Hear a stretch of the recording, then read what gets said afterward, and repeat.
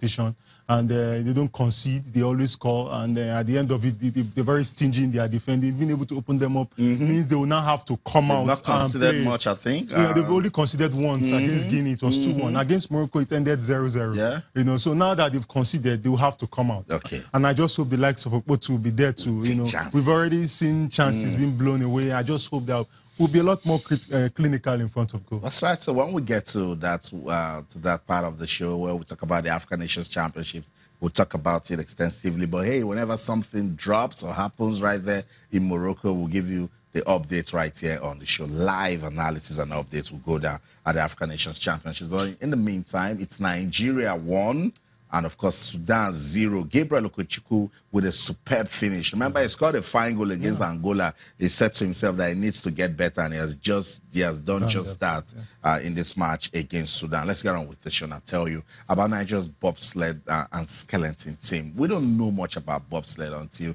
Ngozi uh, Adigun and of course Wumere popped up and then everybody started talking about bobsled. What is bobsled all about? We we had them in the studio. Uh, we know uh, that some some person we we push the bobsled and then jump it. Yeah, that's the dance Epic they gave uh, when they qualified for yeah, uh, the bobsled event. We don't get to talk about yeah, the, the Winter Olympics. Yeah. Someone would say uh, a child born in Africa that lives for 100 years, uh, there's a tendency he won't see snow until he dies. Uh, but this lady, they've put Nigeria on the world yeah. map. Nigeria will be competing at the Winter Olympics. Yeah, we must we must commend them for their effort and what they've done is massive. And uh, the first time we are qualifying, the first time I heard of bobsled was in a movie, you know, a Jamaican cool movie. Yeah, you know, and that was a, That's the it. first time. And push uh, a bobsled, jump into it, and start. The way these ladies have been able to put mm. themselves together, expending their own resources, and you know, going as far as you know, competing at this level and qualifying one has to give them you know, a lot of commendation. It's not easy knowing fully well that the Africans are from Nigeria. We've never, so we've never seen, you know, with the exception of maybe some places in Plateau State, I don't think there has any been anything like snow, really. And uh, being able to achieve what they've done, they deserve all the commendations. Worldwide, worldwide yeah. recognition. Absolutely. So much love for uh, this Nigerian team. And it got better when Simisola qualified for the skeleton event. You know, persons don't know about that, but it's good to know that we have four ladies representing Nigeria in Pyeongchang. Yeah, absolutely. And uh, we need to ensure that, you know, as the proceed to the tournament that necessary support is given to them because this is mm. this is epoch making. This is something that we've never seen before. That's putting right. Nigeria on the map and bobsled. You know, we've always heard of athletics, Winter Olympics. I am not sure we've ever been to Winter Olympics, and now we are going. You know, I just I just hope they'll get the necessary support. But fantastic achievement by these ladies, I and I just hope that uh, the necessary support will come to them for them to not just participate but also excel. You know, in the tournament. Awesome. Solomon Ogba is the president of the Nigeria Bobsled and Skeleton Federation. Uh, we caught up with him. We said, What's bobsled? Can you please tell us? Let's listen to him. We'll right back. Well, uh, bobsled and skeleton is um, the sport of sliding. Um, basically, you slide from very high elevation down to the bottom. That's, a, that is the basic fundamentals of, of the sports. But now it's been modified to you slide on a tunnel and you slide on ice. That's the difference. They're all track and field athletes. Um, Simidele uh, Adeagbo uh, used to be four-time All-American in track and field. Uh, she's a skeleton athlete, and she did very well. In the last two races, she was on the podium in the North American circuit, which is very good. North American is the best circuit in the world. So for you to be on the podium, I mean, definitely she will be top 10, you know, which is good.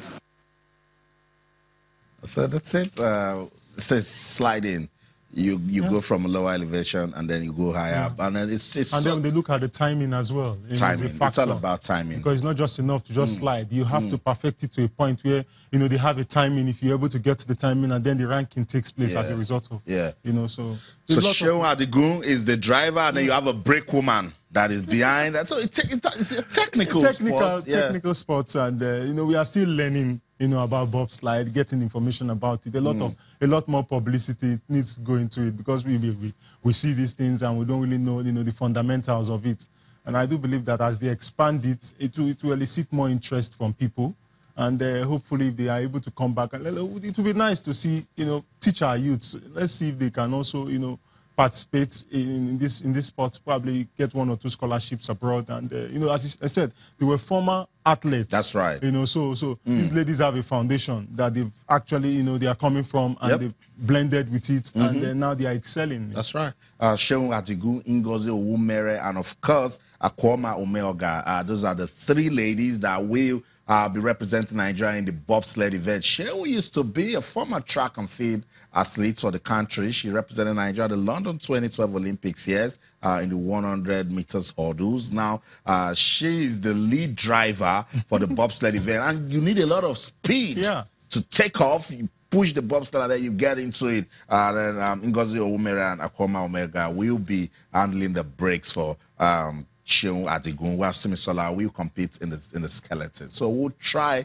uh, to bring these persons closer to you so you'll get to understand the sport of bobsled and skeleton. We have uh, a federation for it in Nigeria. Solomon Ogba is the president. You listen to him, oh and he's, he's trying to educate us on the dynamics of the sport. Let's get on with the show now. Talk about one that you know that we talk about almost about every time on this show and uh, every other show on Channel Sports. Um, wrestling. We're getting ready for the Africa Wrestling Championships how ready is Team Nigeria? The Nigeria Wrestling Federation, they have released um, a 90 man squad. 90. Massive. And um, the president of the federation, Daniel Massive. Igali, says they are going for 90 medals. Oh, interesting. Mm. the Egyptians will have a lot to say about that. the North Africans, the Egyptians, the Algerians. Yeah. Uh, but then we visited uh, the training camp in Yenagoa, Bayelsa State. Uh, it's a female uh, camp. Uh, as you can see, Mercy Genesis, they're sparring with a partner, Blessing Oborududu, Commonwealth gold medalist. As you can see,